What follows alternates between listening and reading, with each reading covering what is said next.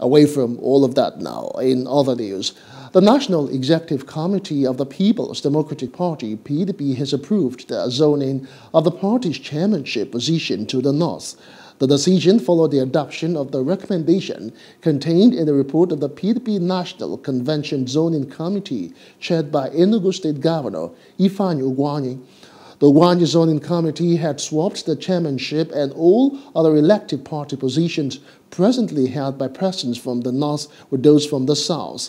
Briefing journalists shortly after the meeting, the spokesman for the PDP, Kola Ologbondiyan, said following the NEC approval, party leaders in the six geopolitical zones have been mandated to go back to base and micro zone the various elected party positions among the state in their various Hello, hope you enjoyed the news. Please do subscribe to our YouTube channel and don't forget to hit the notification button so you get notified about fresh news updates.